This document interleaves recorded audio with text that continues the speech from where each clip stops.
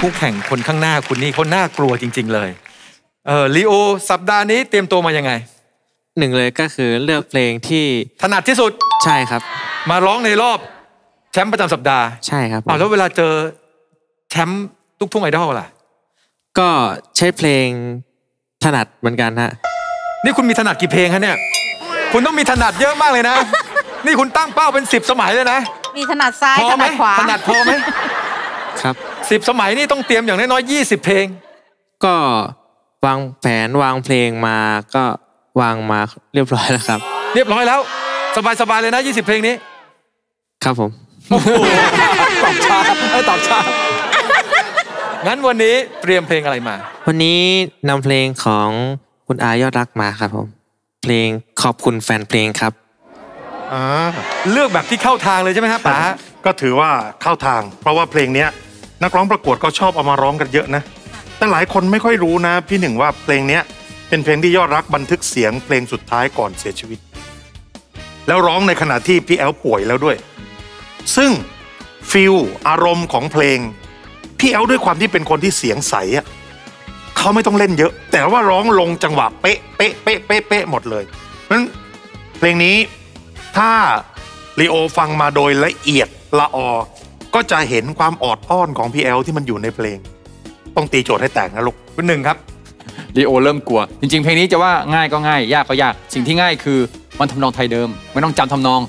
แต่สิ่งที่ยากยากกว่าสิ่งที่ง่าย มันคือความรู้สึกพี่เอาร้องร้องโดยความรู้สึกอ่ามันเลยร้องตามทำนองไม่ได้แล้วต้องร้องโดยความรู้สึกแล้วอันนี้คือสิ่งที่ยากครับ ทุกคนครับเห็นอะไรไหมครับ น้องลีโอที่จะเป็นแชมป์สมัยที่ 6 ยังไงครับ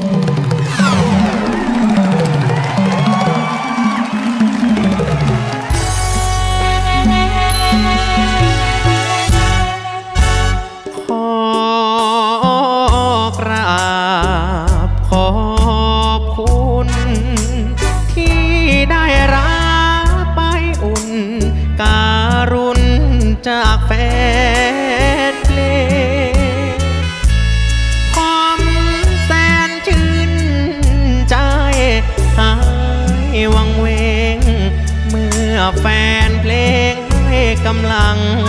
ใจ น้ำใจไมตรี จากแฟนเพลงทุกทุกทีรานีหลังไหลผมขอฝากน้ำยอดรักเอาไว้ โปรดเป็นแรง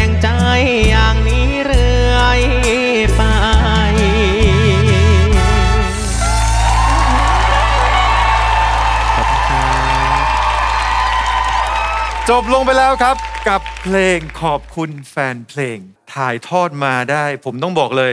นั่งอยู่ข้างๆป๋าเห็นน้ำตาคอๆเลย เชิญครับ คือจริงๆ ไม่รู้จะบอกว่ามันเราเรานึกถึงภาพวันที่เราเห็นพี่แอลอัดเสียงเพลงนี้ หรือหรือจะชุ่มฉ่ำหัวใจกับเสียงของลีโอ ก็แยกไม่ออกนะ เอาตรงๆ ทุก ๆ เพลงที่หนูร้องมาหลาย ๆ เพลงมันก็จะมีจุดข้อตำหนิบ้าง เล็กน้อยอาจจะมีรอยขีดข่วนบ้าง แต่สำหรับเพลงนี้มองว่ามันมันมันสมบูรณ์เนาะแล้วทำให้คิดถึงพี่แอลมาก เมื่อสักครู่เนี่ยเรามีความรู้สึกว่านักร้องคนนี้น่าสงสารจังนะน่าสงสารมาก แล้วก็